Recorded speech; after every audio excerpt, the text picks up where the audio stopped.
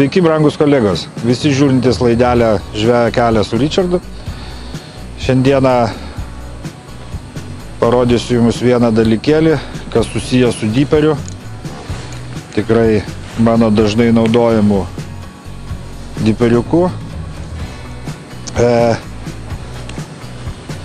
ganėtinai dažnai mes susidurėme su vietomis, kurių nepažįstame. Šiuo atveju dyperis mums tikrai padės. Pabandysim susidaryti batimetrinį žemėlapį nuo kranto. Toj vietoj, kur žvejosime. Sakyčiau, šitą funkciją reikėtų naudoti tada, kada turbūt ilgesniam laikui prisėdėte. Sakykime, nakties pažvejot atvažiavote, parai laiko. Tai savo ramiai atsisėdote, susidarėte batimetrinį žemėlapį, pasirinkote perspektyvius taškus ir užsišėrėte, normaliai sėdit žvejojat. Ne, ta prasme, tai ne sportiniai žūkliai, sakyčiau, kada planuojate stambesnę žuvį gaudyti dviem, trim kotais, kada reikia pasirinkti skirtingus taškus. Tikrai verta susidaryti batimetrinį žemėlapį, tai ganėtinai nesunku, jį galima išsisaugoti. Kitą kartą, kitais metais net atvažiavus pasi, pasižiūrėti vėl tą patį, jau nieko nebereikės daryti, savo diperį tik įsijungiate ir jums rodo ant ekrano viską, ką jūs prieš tai pasidarė. Nu kągi, imsim, bandysim, žiūrėsim, kaip taip darosi. Šiandieną išbandysiu dar vieną produktą diperio, štai tokį. Tai yra dėklas telefonui, kadangi mano telefonas iPhone'as, jisai toksai labai bijo Bijo šalčio, 5-6 minutės, maksimum 10 ir pabuvę šaltį jisai tiesiog nusėda. Tiem dalykam yra sukurti va tokie dėklai, jisai ganėtinai storas, šiltas, pažiūrėsim ir jisai laiko šilumą, ta prasme, ar nenusės man telefonas tenais. Jis ganėtinai storokas, turi erdvės galima powerbanką įdėti, iš karto prijungti prie telefono, žodžiu, ilgai savo galėsite naudoti diperiuką.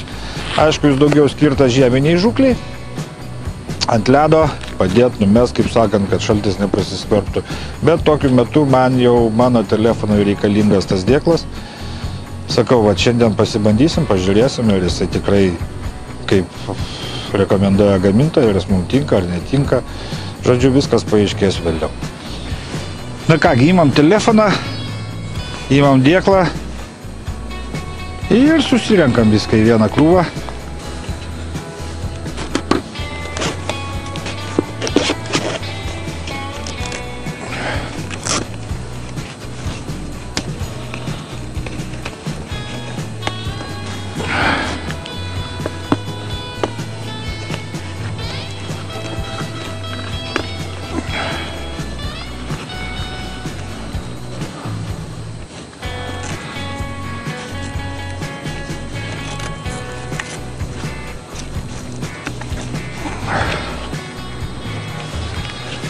Štai taip atrodo.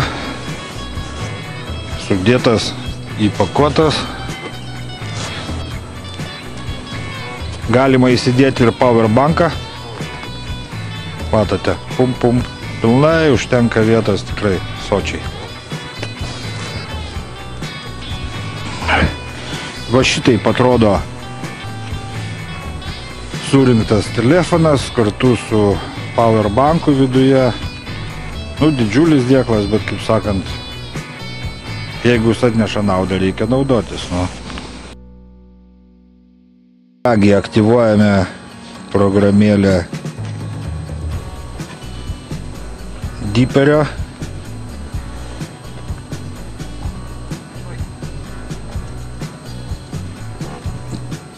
Parametruose nustatome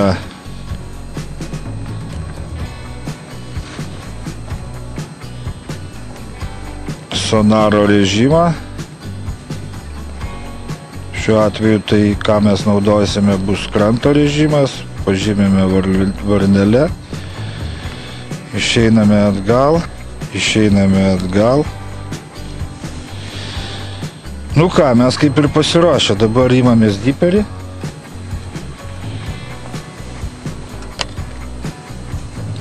Čiumpam galingą kotą, prisimontuojam diperį. Ką pasiruošę? Einame pamėtysim dabar.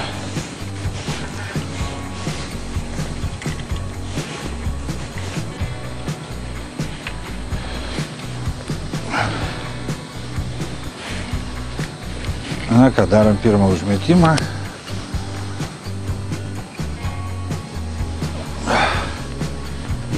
Įsitikiname, ar gerai vaikšto.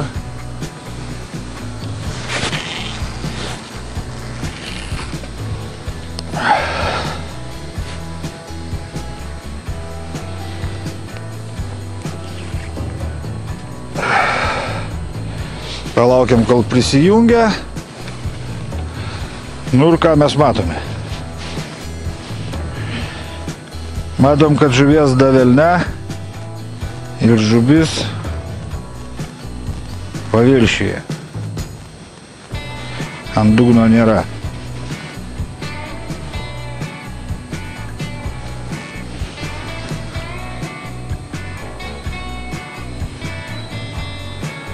Nutrūko susisiekimas su diperiu, pamiršau išjungti mobiliosius duomenis, ką ir dabar padarysiu. Užėjome į nustatymus telefono. Taip.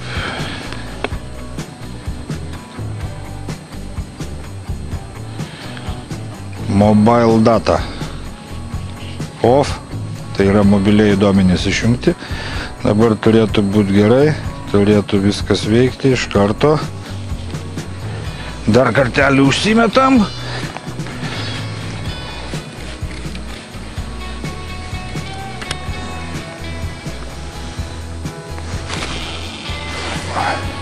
Palaukiame, kol susijęsime ryšį. Viso, prisijungia.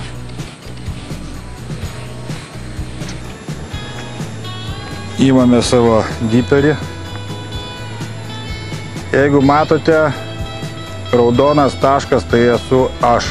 Ir dabar pamėtysiu, turėtų nusi, nusipiešti vaizdas ant dugno.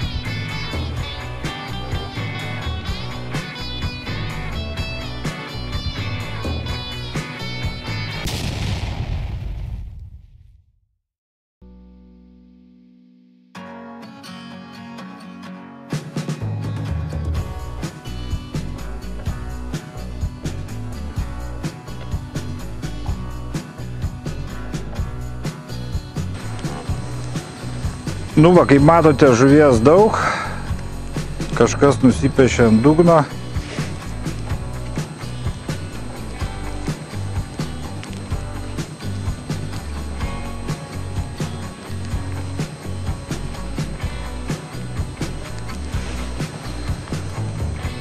Tokį daugmaž sudariau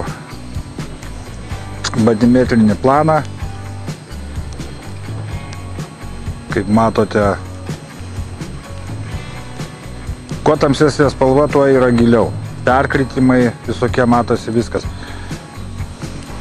Žodžiu, padirbėjus truputėlį, va, nepatingėjus, čia aš dar biški mažai mėčiau, reikėtų ilgiau pamėtyti, daugiau pamėtyti. Galima visą tą baltą už, užpildyti, pilnai matysite, turėsite bendrą vaizdą. Vienu žodžiu, labai stipriai sutaupysite laiko. Skaitau, kad turint laiko, pasidarius batimetrinį planą tikrai susidarysite bendrą vaizdą ir galėsite gana sėkmingai žvejoti. Pasirinksite perspektyvius taškus. Žodžiu, reikia laiko skirti tam dalykui, bet jeigu skanuoti su svareliu, tai ne aš nežinau, dešimt kartų daugiau laiko skirti. Ilgiau, ta prasme, praleisite laiko. Žodžiu, tikrai vertas dėmesio dalykas, programėlėmis reikia naudotis, šio laikinė technika mums padeda žvejyboje. Ačiū Dyperiui, kaip sakant, ne, pir, ne, ne vieną kartą jisai mane išgelbėjo ir tikiuosi, kad dar išgelbės, pagelbės, parodys kas kur kaip, kokia žuvytė, kokie giliai, perkritimai. Kągi draugai, nepamirškite užsiprenumeruoti mūsų kanalą, iki kitų susitikimų. Neižvina jum nei odegos.